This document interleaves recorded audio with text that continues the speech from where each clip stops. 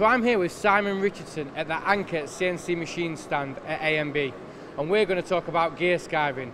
So Simon, what is this machine we're stood in front of? Well this machine is the GCX Linear and this machine is primarily used for the production and regrinding of skiving cutters.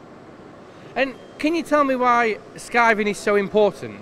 Well skiving is, is, is important because the application when you're producing a gear uses skiving technology and the skiving technology facilitates faster production and higher productive higher productivity of the actual gears using a skiving application not only that it's extremely accurate and the cycle times are drastically reduced when you when you're using the skiving application as a, as opposed to using hobs and gear shapers now, going back to accuracy, what sort of accuracy can you get from this machine?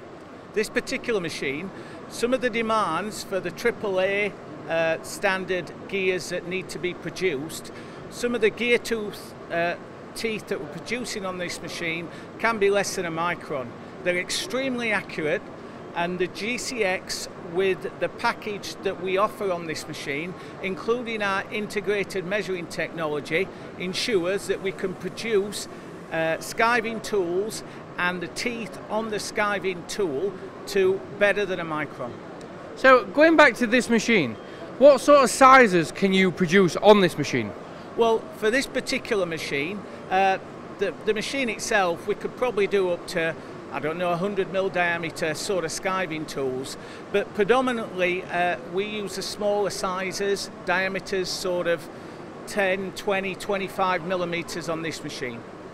So where is the demand coming from for skiving?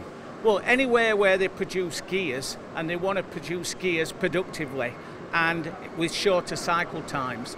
So predominantly the automotive industry, that's where the, the, the gears and the skiving application technology is used.